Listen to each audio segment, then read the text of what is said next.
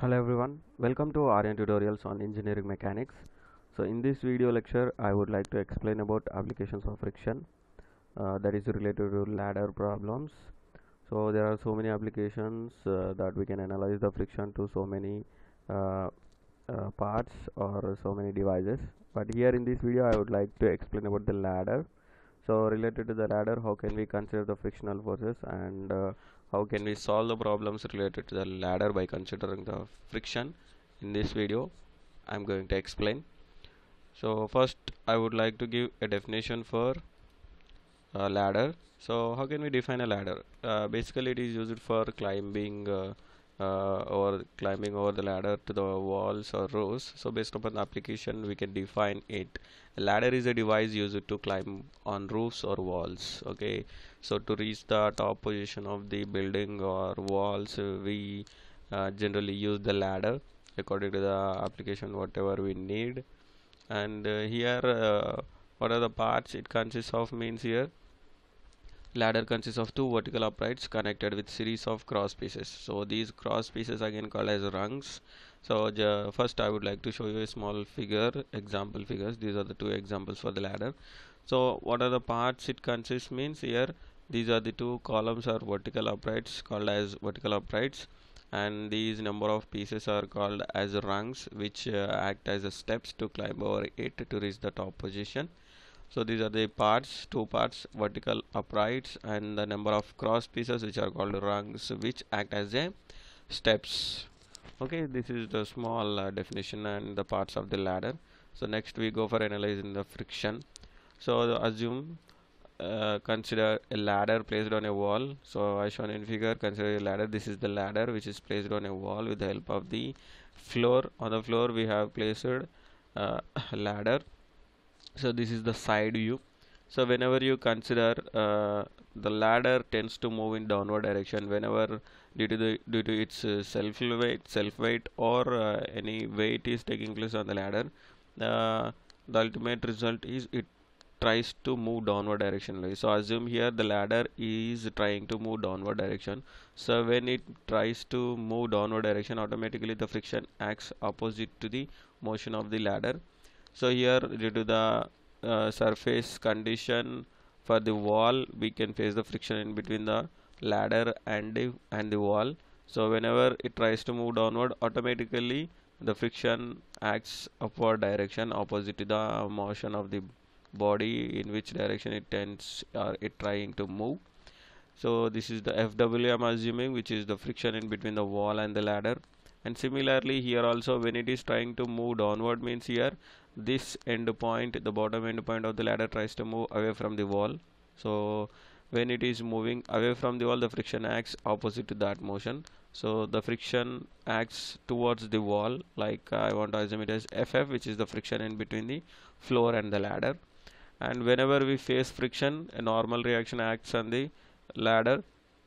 So automatically we have to represent the normal reaction in between the wall and the ladder and similarly normal reaction in between the floor and the ladder. So RW and RF we can assume. So here uh, even these number of forces are acting there is no motion for the ladder here. Okay when uh, you stand on the ladder uh, sometimes up to certain limit the ladder can maintain the equilibrium condition. So here also assume uh, there is an equilibrium condition for the ladder. So for equilibrium condition sum of all the forces should be equal to zero. So that condition or that analysis we can apply for the ladder here. So all positive directions are uh, positive forces and all negative directions are negative forces we need to consider. So first to consider fw which is acting in positive y direction. So that is positive only and ff uh, the friction between the floor and the ladder is acting negative x direction so negative sign minus ff and similarly uh, rw or rf rf is acting again here positive y direction so positive only. And similarly rw is also acting positive x direction so that is also positive force Rw. So sum of all these forces should be equal to 0 whenever we consider the equilibrium of the forces or equilibrium condition of the body. Okay, so like this we can analyze the frictional forces and the normal reaction acting on the ladder. For equilibrium condition we can make sum of all these forces equal to 0. okay this is the general analysis we can do for the ladder related to the friction in between the ladder and the wall and ladder and the floor okay next we go for the example problem how to solve it okay? So here I have given one problem. So go through the problem. A uniform ladder of length 3.25 again uh, I would like to take an example figure this one only. So here the ladder is given of length how much? 3.25 meters and and weighing 250 newtons so I'm assuming AB as a required ladder which is placed on a wall and the length is given as 3.25 so this corner point I am representing here as C. Okay this uh, I am representing while solving the problem you understood you understand. So here AB of length 3.25 meters and how much the weight? Weight is 250 newtons. Exactly uh, from the middle position of the ladder it acts downward direction 250 newtons and it is placed against a smooth vertical wall with its lower end 1.25 meters from the wall. So this lower end is at a distance of 1.25 from the wall and this end a a of the ladder is placed over a smooth vertical wall. So he, he is particularly mentioning it is a smooth vertical wall means here we have to remember or we have to analyze that there is no friction in between the wall and the ladder. Okay that is the thing we have to uh, understand here. And the distance is given as 1.25 meters from the wall to the lower end. And uh, the coefficient of friction between the ladder and floor is 0.3 so this 0.3 is coefficient of friction by using which we can find out the frictional maximum frictional force in between the ladder and the floor here so next what he is asking what is the frictional force acting on the ladder at a point of contact between the ladder and floor. So initially we need to find out with this condition with this weight how much the friction is acting in between the ladder and the floor we need to find and next we have to show that show that ladder will remain in equilibrium position. So by finding the maximum friction and by the and by knowing the frictional force in between the ladder and the floor we need to confirm that whether it is in equilibrium condition or not okay so this is the problem is given.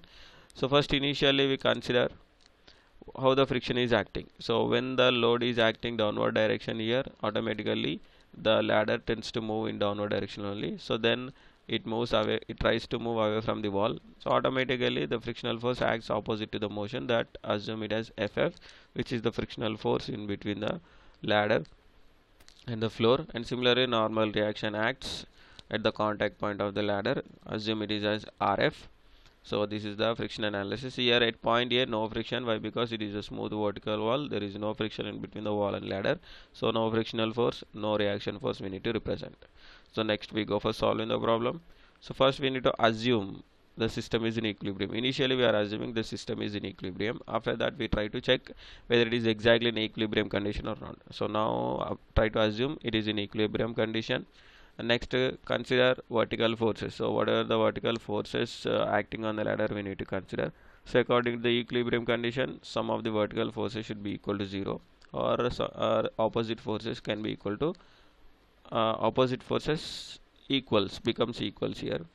So here RF is acting upward direction and the weight of the ladder is acting downward direction. So these two can be equal, equal because only two vertical forces we can see here and both are acting in opposite direction. So according to the equilibrium condition we can write RF is equal to 250 newtons here. Okay? And this is the one value we got. And now for, for finding the friction in between the floor and the ladder we need to take the moment with respect to a here. So with respect to a point we try to take the moment of all forces. So now take the moment of forces about a so again here for equilibrium condition sum of uh, moment of all forces should be equal to 0 or uh, clockwise movement should be equal to anti-clockwise movements so try to apply that. So here the weight is acting downward direction which tends to rotate the body in clockwise only. So I take it as positive. So 250 into distance perpendicular distance in between the A and 250 newtons means from wall to the uh, force what is the perpendicular distance means it is half of the 1.25 meters okay it is exactly acting at the midpoint means automatically the distance half of the distance it can maintain in between the wall and the center point of the ladder here. So 250 into we can write it as 1.25 by 2 which is the moment of the force 250 newtons that is the moment of weight. Next similarly we need to consider the uh, another force which is causing the clockwise motion only which is the frictional force. So this frictional force acting towards the wall means it tends to rotate the body in clockwise only. So take the positive so then ff into perpendicular distance. So what is the perpendicular distance means this is the direction. When you extend this ff line automatically this ac line will be perpendicular to the ff so we have to know ac so in the problem ac is not given perpendicular distance for finding the moment. That ac we need to find out in the next step. We try to find it. So here the moment of frictional force means ff into we have to multiply AC distance perpendicular distance. So write it as FF into AC okay so here for understanding purpose I am representing the distance. So this is the perpendicular distance which can be equal to AC only here. So FF into AC we can write it as. So these two causing the clockwise rotation and the remaining RF is causing anti-clockwise. So make it as equal to RF into what are the perpendicular distance from A. So when you consider A uh, line from vertical line from A so the perpendicular distance to RF becomes 1.25 even if you extend this one the perpendicular distance from A to the RF becomes 1.25 only. So that can be equal to we can write it as RF into 1.25 meters. Okay? So that is the uh, clockwise sum of the clockwise movements is equal to sum of anti-clockwise. Okay? Only RF is causing the anti-clockwise motion only one force. So one moment we have taken. So next slide we go to the next slide with the same step so in this equation try to write ff into ac is equal to ff into ac is equal to we can write it as already rf into 1.25 is there rf into 1.25 when you take this to the 250 into 1.25 by 2 to the right side it becomes negative. Then 250 into 1.25 by 2 so try to modify this. Rf is 250 in the previous step we got into 1.25 minus 250 into 1.25 by 2 means it becomes into 0.625 so modify this equation by using calci then automatically we get the value as 1 156.2 newtons.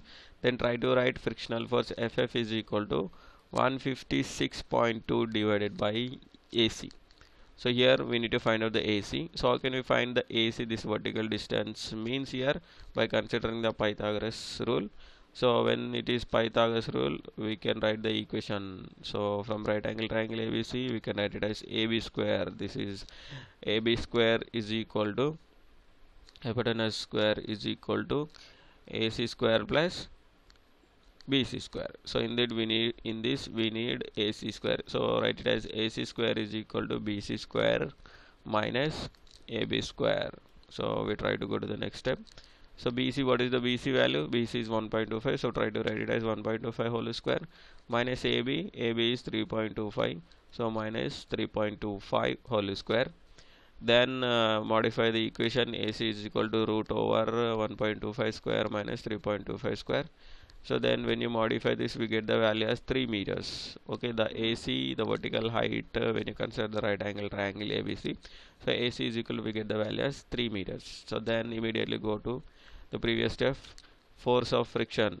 Frictional force FF is equal to 156.2 divided by AC then write it as 156.2 by AC sorry by 3 is equal to we get the value as 52.1 newtons which is the frictional force is taking in taking place in between ladder and the floor. Okay this is the frictional force is acting so now we need to confirm whether it is in equilibrium condition or not. So if the frictional force is sufficient to stop the motion of the body then it, it could be in equilibrium condition. If it is unable to stop the motion of the body again it starts it exceeds the frictional force then it starts moving downward direction. So we consider the maximum friction. If it is less than maximum friction automatically we can say that this ladder in equilibrium. So we try to find the maximum force of friction which is the formula is we know general formula F is equal to mu into RF. Then mu value is given for the floor and the ladder is 0.3 into RF already we got 250 so when you multiply this automatically we get the value as 75 newtons here.